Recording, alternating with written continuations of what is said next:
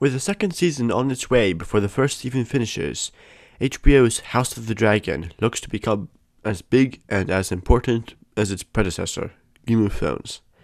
I'm Mr. Mac, and now it's time to dive into the first episode of the show, Heirs of the Dragon. At the start of the main plot of House of the Dragon, King Viserys Targaryen sits on the Iron Throne, backed by Otto Hightower as King's Hand, and Corlys Velaryon as Master of Ships. Viserys isn't a bad king.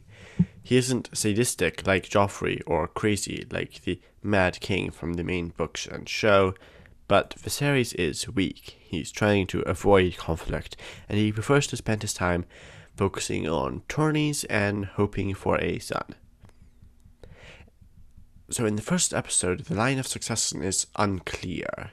There's Viserys' daughter, Rhaenyra, and Viserys' younger brother, Daemon Targaryen, who is the heir apparent, but Daemon is as violent and brutal as Viserys is not.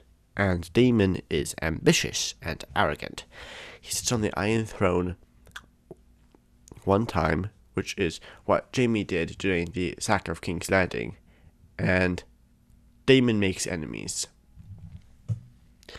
Otto Hightower and Daemon are rivals on the small council, much like Petyr Baelish and Varys were, or more accurately, will be.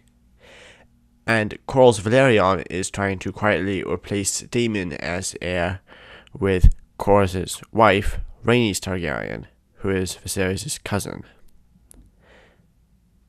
All of this comes to a head when Viserys' wife, Queen Aemma, dies along with her newborn son.